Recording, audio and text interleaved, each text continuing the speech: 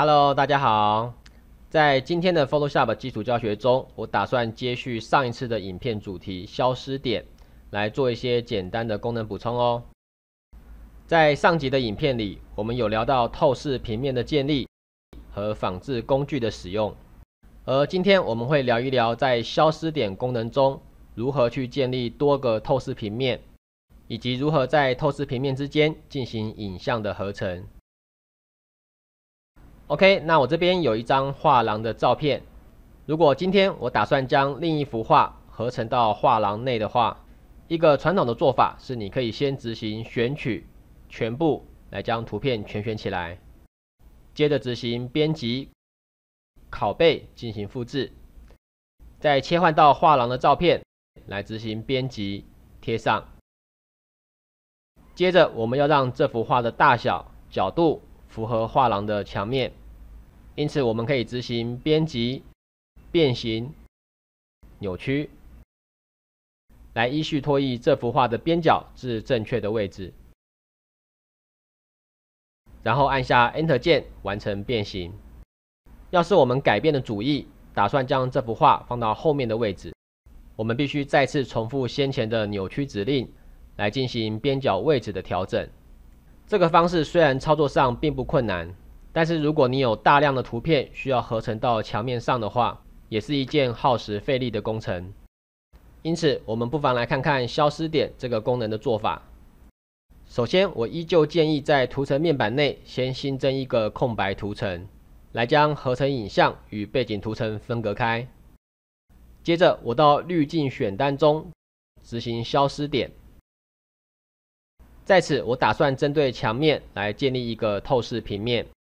于是我使用滑鼠，先点击墙角的底端，然后顺着墙壁向上点击天花板，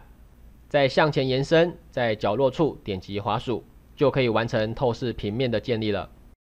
如果透视平面呈现红色或黄色，你可以略微调整边角的位置，直到透视平面恢复为正常的蓝色为止。在上一集的影片中，我们曾经和大家介绍说，透视平面可以借由拖移侧边的控制点来进行前后的延伸。而这边我补充一个有趣的小技巧：如果我们按住 Ctrl 键不放来拖移控制点的话，就可以产生一个与原先平面相互垂直的新墙面。甚至我们也可以利用 Ctrl 键来拉出一个新地面哦。此外，如果我们按住 Alt 键不放，那滑鼠游标靠近控制点时，会变成一个双箭头。这时，我们就可以利用滑鼠上下拖曳来旋转墙面。透视平面完成之后，我们就可以在这些平面上进行影像的合成。举个例子，如果我打算将前方的这幅画复制到后面去，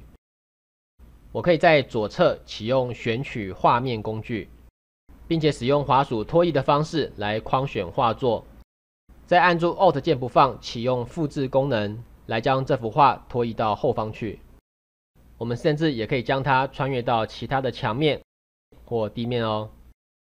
调整完毕之后，在右上角按下确定按钮，就可以在图层一中看到我们刚合成的影像了。最后，我们来看一下如何将其他的影像复制到透视平面内。一开始，我们同样先执行选取全部。再执行拷贝指令，接着切换回画廊图档，同样先新增一个空白图层，再执行滤镜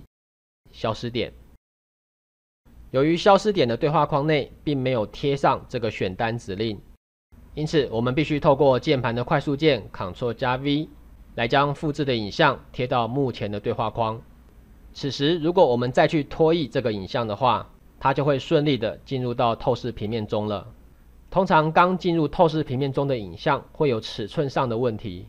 因此我们可以利用旁边的变形工具，将这幅画作调整到我们想要的大小和位置。完毕后再按下确定按钮就 OK 喽。好，那今天的消失点功能我们就介绍到这里，我们下回再见，拜拜。